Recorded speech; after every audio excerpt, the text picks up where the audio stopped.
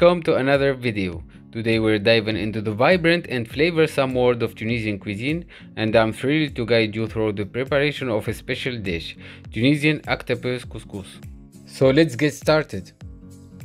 First, we're gonna need one onion that we cut on half and dice into small cubes. Then, we need 5 garlic cloves that we peel and chop finely.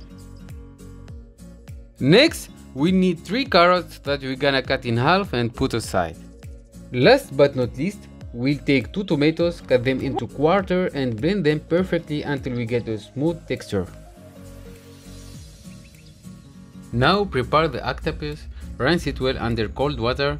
In a large pot put the octopus and add hot water. Bring the water to a boil, simmer gently for about 1 hour or until the octopus is tender.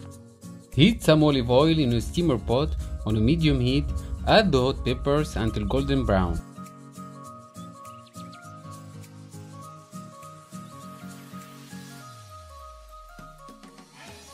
In the same pot, put the onions and the garlic cloves and stir for about 4 to 7 minutes until slightly softened. Now, add 1 and half cup of tomato puree and the tomatoes blended previously. For the spices, we're gonna need 1 tablespoon ground caraway, 1 tablespoon ground coriander, 1 tablespoon ground cayenne red pepper, half teaspoon black pepper, 1 teaspoon of harissa and some salt to taste. Stir everything together uh-huh. and add the octopus with its boiling water. Next we prepare our couscous by adding the essential spices needed for this dish. Some olive oil, half teaspoon salt, 1 tablespoon turmeric and 4 cloves.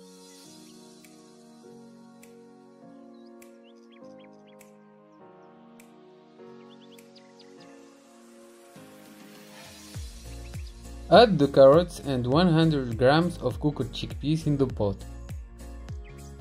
Put the couscous with the mixed spices in the steamer for about 20 minutes. After 20 minutes, in a large plate, put the couscous, add some hot water and mix well. Add a bit of dried rose petals and bring it back to the steamer for another 8 minutes.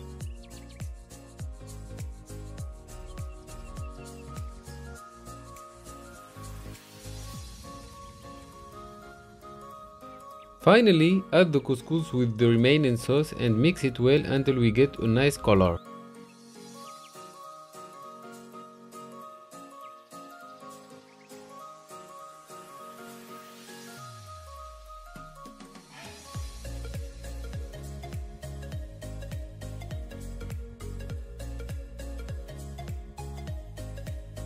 We decorate our plate with the octopus, the carrots, chickpeas and the cooked hot peppers.